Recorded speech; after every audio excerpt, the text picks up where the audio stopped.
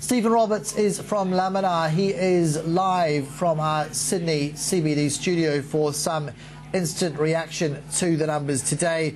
Stephen, warm welcome into the show. Just as a broad barometer of where China heads, are you liking the series or do you find that it's patchy at best when it comes to indicating uh, future trajectories?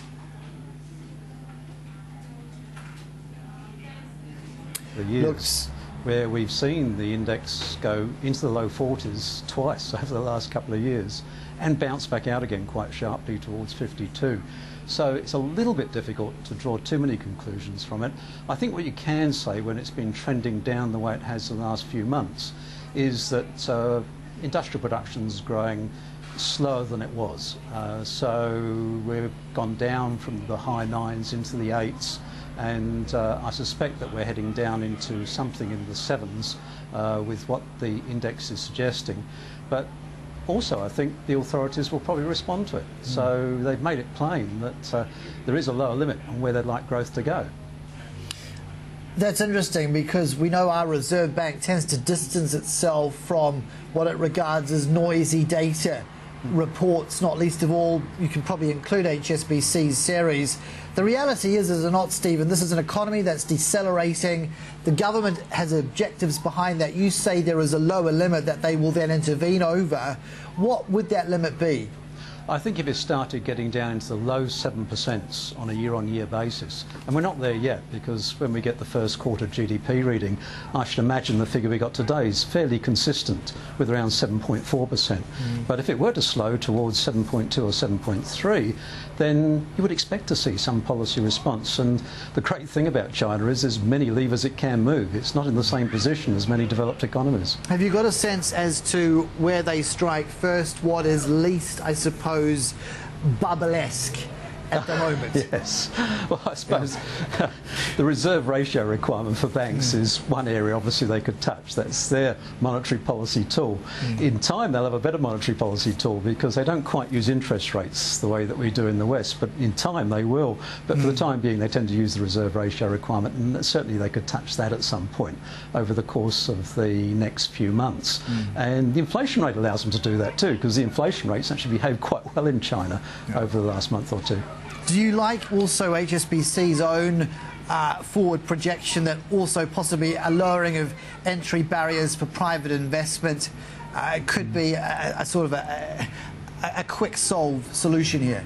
Oh, absolutely. I think uh, a lot of these reforms are starting to come through, and they're coming through in quite large number. It was only just over a week ago that uh, they spoke about their urbanisation plans for 2020, mm-hmm. and it's not that they're going to reduce investment spending in cities, it's actually they're going to increase it, particularly on rail. And uh, depending on the size of the city, they either get conventional rail or they get high speed rail, but there's no sign that uh, they intend to really allow the economy to slow back much.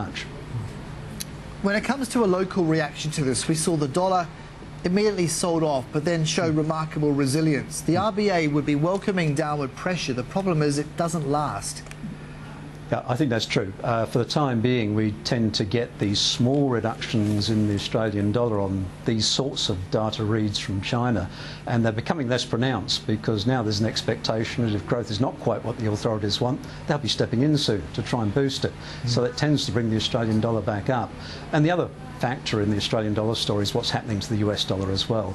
So whenever there's a story that the US dollar might be somewhat stronger, and when we went back to the FOMC meeting in the United States last week, and it appeared as if there's a possibility they might start lifting interest rates perhaps a touch sooner than previously expected. We got a, a minor blip up in the US dollar, minor blip down in the Australian dollar, but again, it didn't carry too far.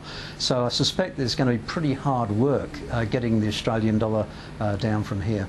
We did see a move in the Fed funds futures as they began to reprice all that in. From your judgment, Stephen, where do you see, uh, I suppose, tightening realistically occurring? What, what, what will you be linking any justification on tightening too? I think in the case of the United States, mm. a lot depends on the data run. And the data run there for the time being is just picking up a little after the weather disruption we had going through January and February. And in particular, the labour market data. I think that's something that uh, the new governor of the Federal Reserve is particularly interested in.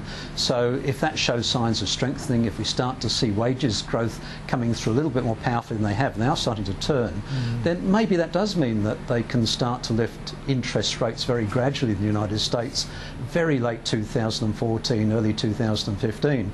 But this is a moving feast. Uh, they can change their mind very quickly if the data starts to turn. Have you changed your mid-year target as a result for the A dollar? Is it what I'm guessing around 88 US cents, or am I completely yeah. off the mark? Oh no, that's about right. Uh, mm. Somewhere between 85 and 88 cents by the end of the year, mm. and that doesn't rule out that it's going to be a fairly volatile path getting there, and we might see 93 before we see 88. Stephen, it's a pleasure. Thank you so much. Thank you, Gus. Right. Dr. Stephen Roberts there from Laminar.